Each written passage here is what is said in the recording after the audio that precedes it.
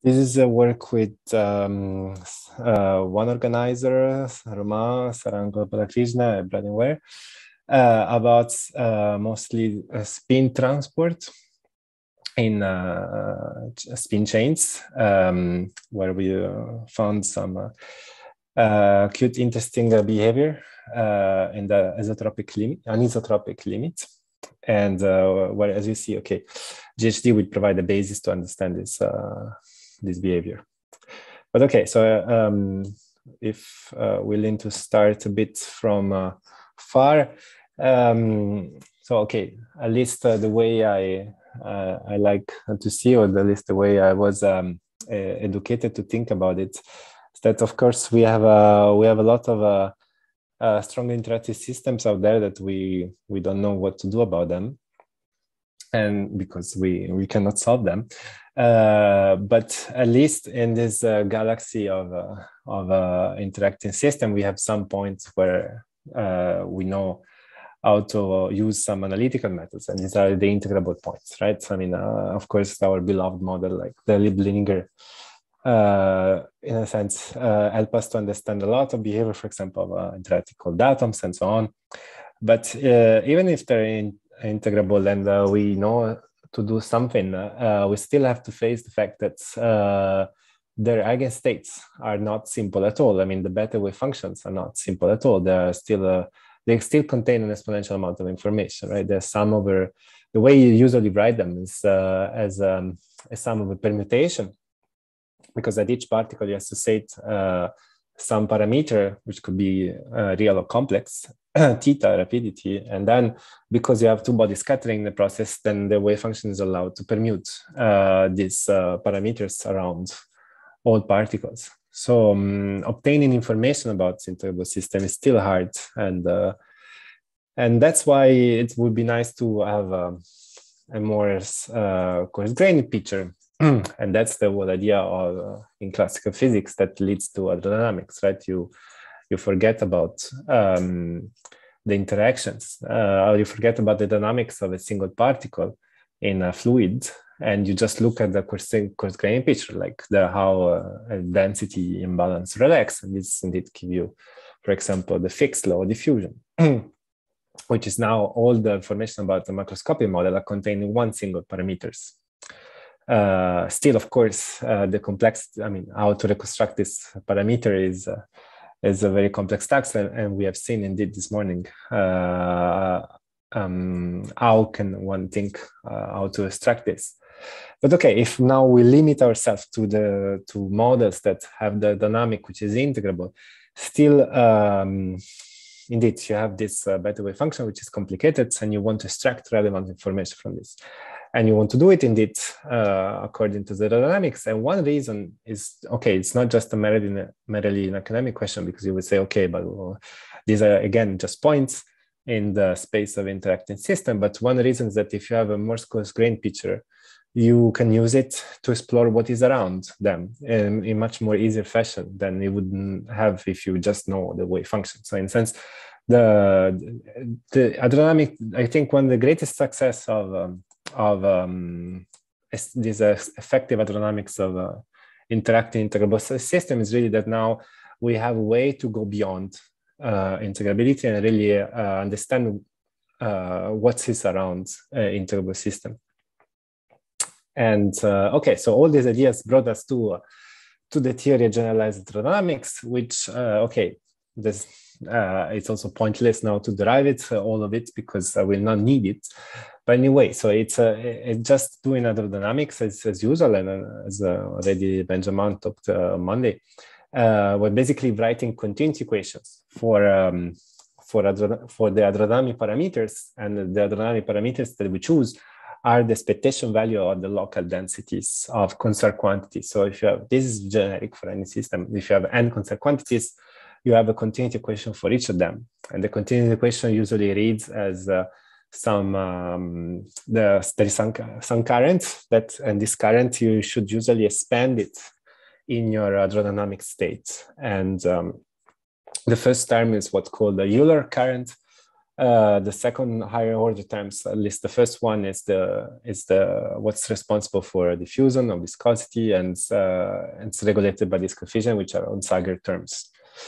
But okay, this uh, this is all very generic. Uh, the point of the generalized dynamics is also that you can rewrite. Basically, you can reparameterize the this field of hydrodynamic parameters into a field of uh, density of quasi particles. So this rho theta of x and t, now it's a field. It's uh, in, uh, in space and theta. so at each position x, you have a, a function of theta that completely is by give you all information you need to know about these hydrodynamic parameters. So in a sense, just a parameterization, but it's a very useful one because allows you, for example, to write Euler current very easily.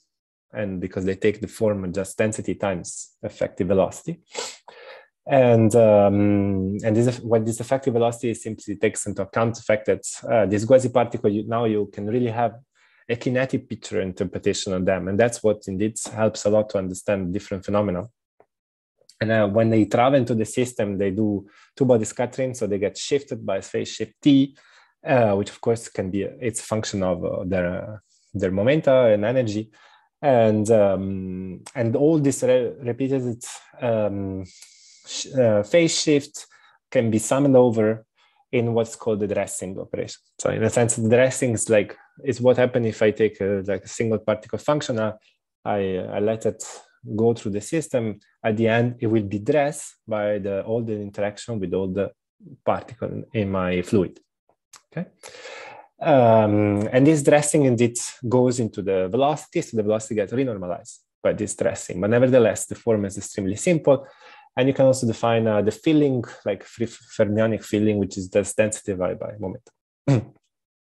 but okay, so this GHD now uh, was invented now almost five years ago. Um, uh, now recently we extended to uh, the most generic case if you have like uh, external forces, so it's uh, non-homogeneous Hamiltonians.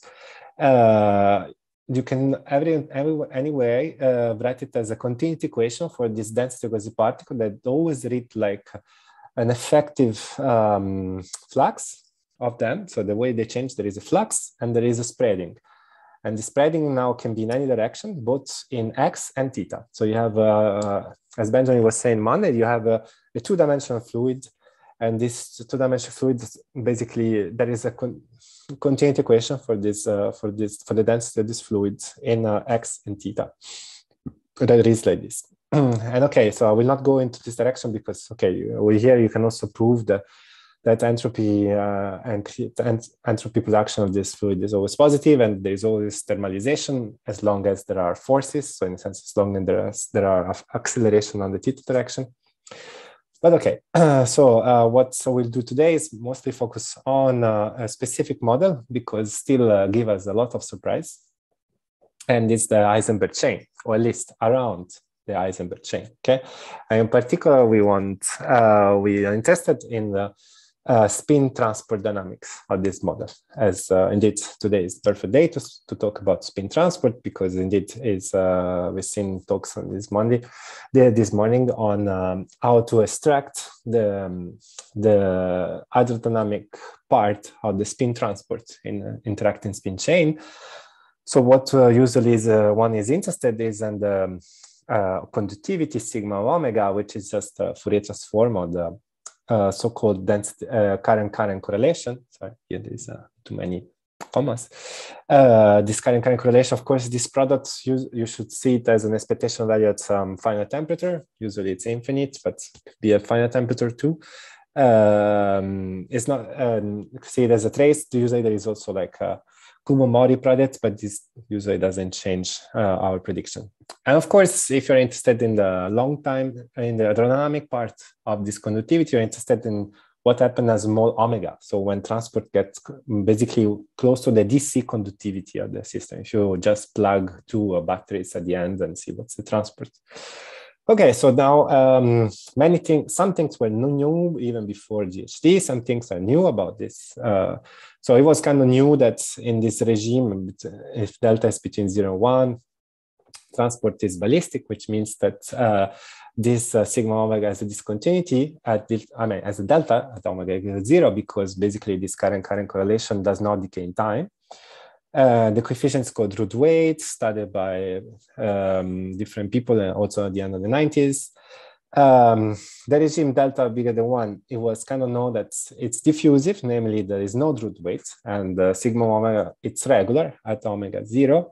Uh, but this, of course, was confirmed now with the GHD, which understand now why Drude, uh, Drude weight zero and uh, understand how to extract these diffusion constants. What is new? It's about the point delta equal one, where, um, as we've seen on Monday, uh, now even uh, has been seen also experimentally, the dynamical exponent here is not one is not two from diffusion, neither one from ballistic. It's actually uh, three over two. uh, um, sorry, two over three.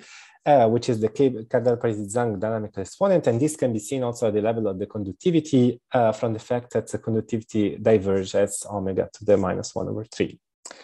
So um, so let's just go quickly on uh, how to understand all these different regimes. So uh, in this regime, um, the easy plane, if you want, uh, we understand why there is ballistic uh, transport. And uh, so usually if there is a ballistic transport, it's because you can actually have an overlap between some of the conserved quantity in the system and your current, right? Because if you just take uh, this part of the conductivity, which is the which is just the large time limit of this um, of the uh, current current correlations.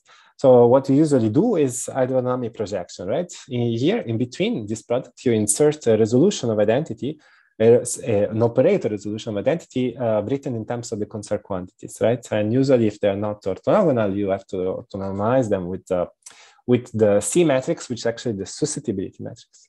so uh, if one of these products uh, is non-zero, you have a finite value, and this indeed it's a lower bound in general for the Drude weight, but for the integrable system, you can sum over all of them. And this gives you exactly the Drude uh, matrix, uh, which you can write as this, where B is the product of current with charges. so in this regime, those charges do exist. Uh, they do exist. They have, a, they have a very special form. They are fractals, actually, uh, or, may, or, at least nowhere discontinuous in this regime. That's the reason why the Drude weight is nowhere a continuous function. Uh, already observed by Tomasz Prosen uh, uh, some, time, some time ago. but okay, so then if you're interested in the, the expression for the Drude weight given by GHD, you see that uh, it takes a very simple form. It just uh, tell you that you have to take uh, um, the charge. Uh, so for each for each type of particle that you have in your system, which can be just uh, many because uh, in this kind of chains you can have particles that are made by different bound states so you have to count them all. You sum over the density of all these particles and uh, then you multiply just by the amount of a charge square that they carry as they move. And the amount of charge is just the renormalized charge this man, the, the address magnetization times their velocity their respective velocity. Okay and this uh, of course, this is just an approximation, but you can really write in a, a formula like this, and this completely give you the Drude weight. Now, if delta is bigger than one, uh, it's different. There is no Drude weight, uh, which somehow tell you that there is no ballistic transport. Uh, and only if the if you want the magnetic field is zero, or if you want if you are in a in a half filling or a not polarized state. Any polarized, any non-polarized thermal state has uh, zero Drude weight. How, uh, how we understand this? Well, there is a very uh, nice uh, argument, and basically you have to see um, transport in the regime as this. You have like uh, you can see all these ty different type of quasi-particle as um, bound states or mag magnons. And there are, of course, there are single magnons, but there are also like bound states of them. This is a picture which is only valid at very large delta, but it's anyway a good also finite delta. So when the magnons uh, move, the magnons is the only one that moves uh, almost freely in the system. But when it arrives to, uh, when impact one of these uh, bound states actually cannot move anymore because you have some kind of a preservation of number of domain walls. So, but this hole actually can actually move now inside the mount, the bound states. And basically inside the bound, the bound state, the magnons flip, it's like effectively flip sign. So flip sign becomes whole. So now at the end of the process, the magnons has passed through the, the, the bound states. The bound states actually has hoped on one side. Um, but uh, this is effective magnetization actually as a, as a fluctuate. And then now if you think this is a very large system, um, when it hits so many of these uh, bound states, then its effective magnetization is actually zero. But you can put yourself as some finite, uh, some finite magnetization and then uh, um, and see that uh, how you can check how this effective magnetization decays in time in the case as one over the square root of the system that uh, the, the magnon has explored, and therefore it decays as one over v times t, a square root of v times t.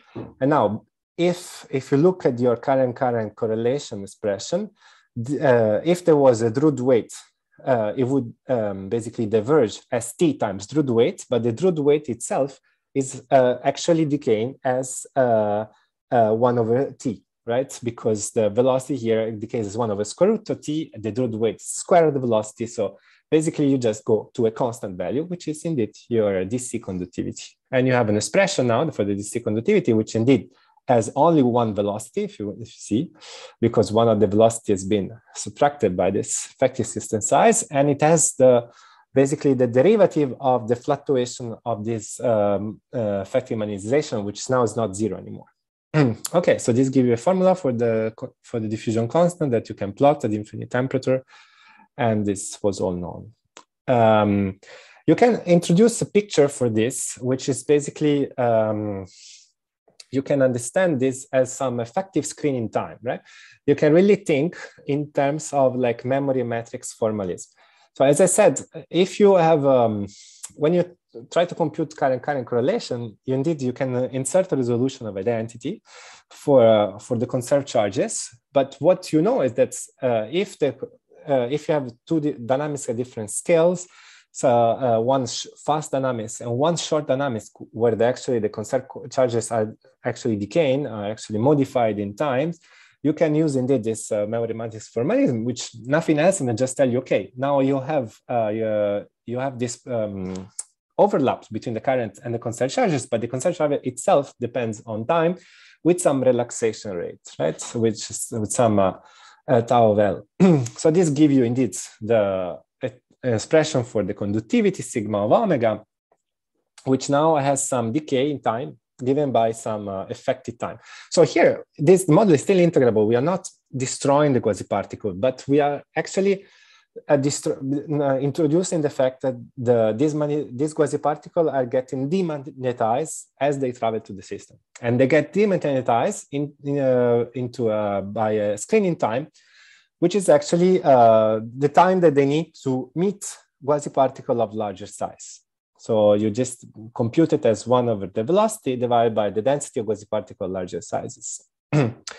And okay, you know the density of this quasi-particle always decay in a certain way in thermal states. And their magnetization now, which is not dress, because you see the dress one is zero. Here we put the bare one, which is equal S, and we take time tau to for becoming dress, namely zero. So if you, uh, and now here you really see the difference. For delta large the one, you still see uh, diffusion, you still see nothing because this velocity actually exponentially decay in S. So this sum always converge and the sum is always finite and for any omega. Uh, but for delta equal one, actually, uh, this time, this uh, screening time becomes also polynomial in S. So the screening time diverges in S. And if you resum this sum, actually you get your uh, omega to the minus one third, okay?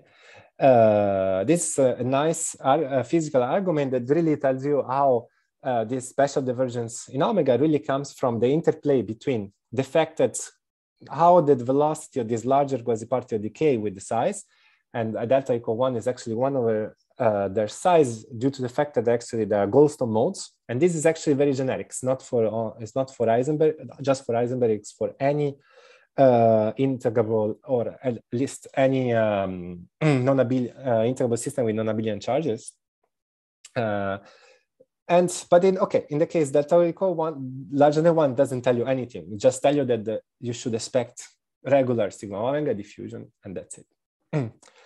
Um, okay, uh, so maybe I should go a bit faster now. Um, now we want to, we want to go beyond integrability. So we want to add uh, perturbation to our Heisenberg chain. So of course, if you have ballistic transport, again, using memory matrix formalism, you know that the Drude weights, the delta of omega should be just get spread in a Lorentzian fashion by the presence of a finite lifetime for the quasi-particle. This is basically all that people do when they do a quantum Boltzmann uh, equation, right? That you have to find what's the effective quasi-particle relaxation rate, and this give you basically what's the what's the diffusion constant, what's the the Lorentzian spreading of the conductivity.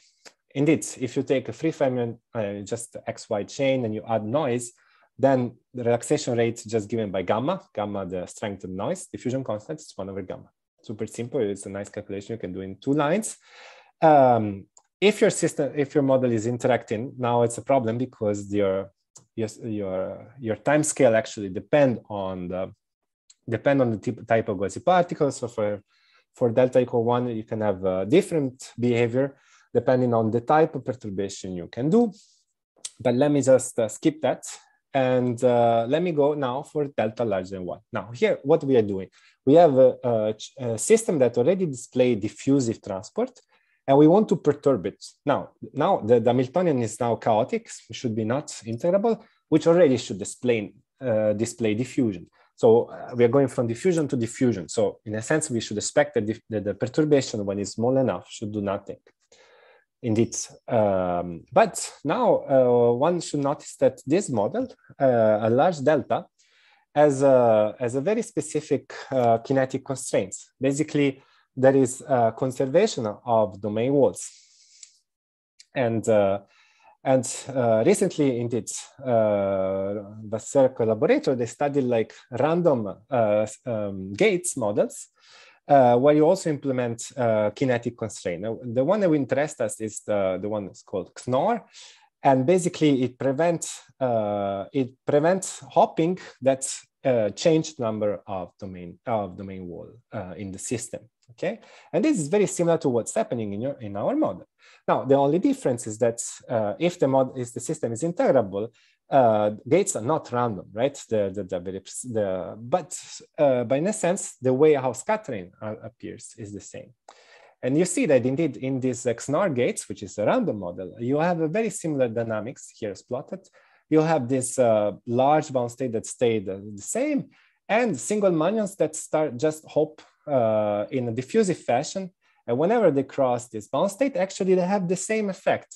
They from from plus they become uh, minus when they cross this bound state. So they also change sign. They also have this screening of magnetization.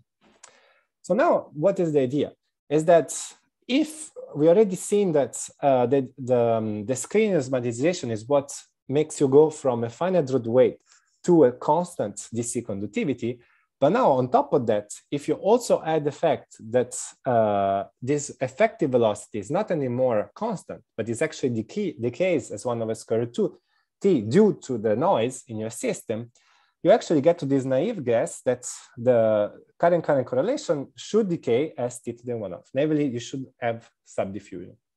Now, this looks like a naive guess, but actually, if you try it, if you take your XXZ for a relatively large delta and you add noise, you actually see this behavior. So now what I'm plotting here is the diffusion constant as function of time that you can extract just by compute, looking at the variance of the spin uh, as function of time, taking the time derivative, uh, times delta. So times delta uh, for different value of delta, the diffusion constant so basically decays as square root of time.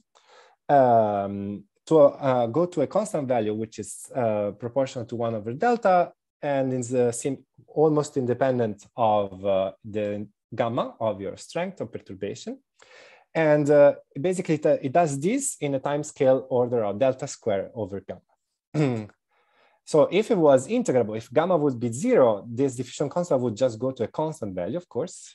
But now, as soon as gamma is a final value, you see this drop in the diffusion constant. So indeed, at uh, uh, so you see this is the diffusion constant uh, uh, in the integrable model, and it goes at large gamma more or less to a value which is constant in delta, which is four, four over three pi.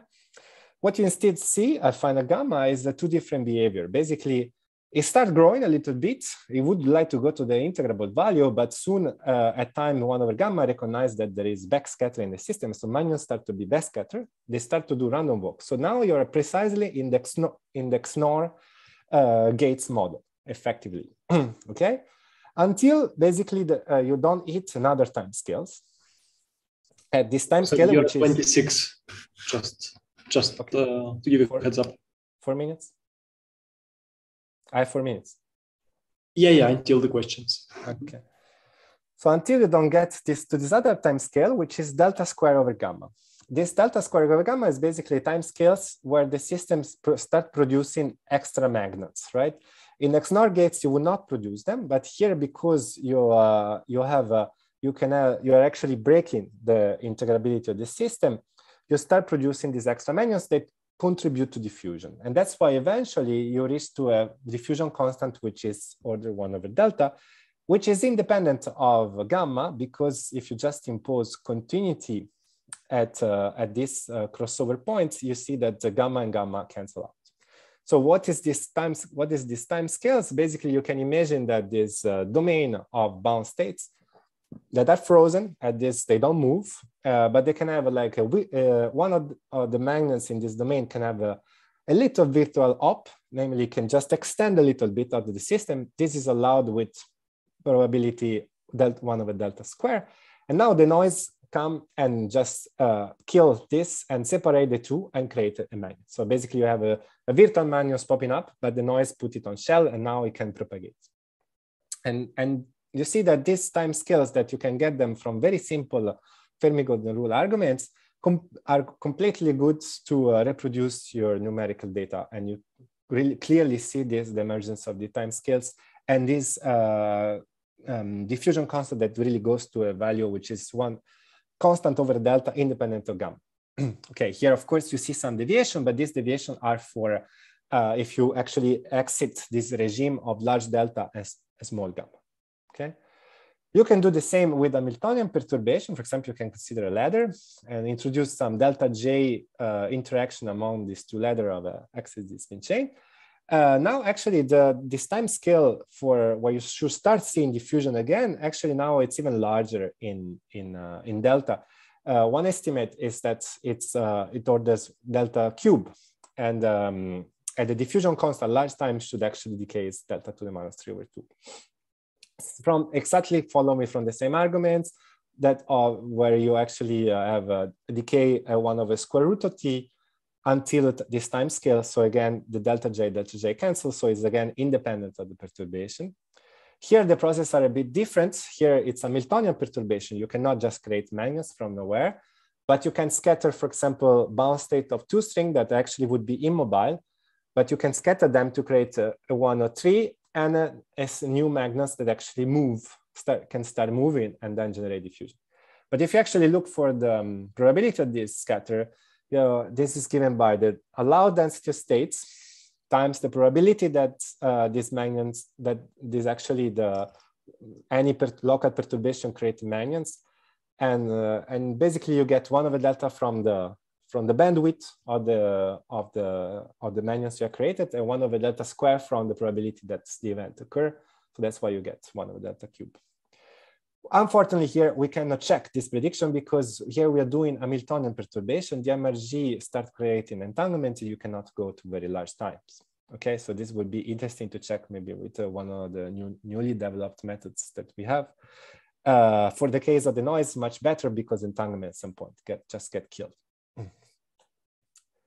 Okay, so we have checked that actually uh, magnon conservation is important and not just domain wall. So if the if the if the only mechanism at play here was, was domain wall conservation, you actually would expect that this extra time scale would be exponential in delta from uh, this the the theorems contained here.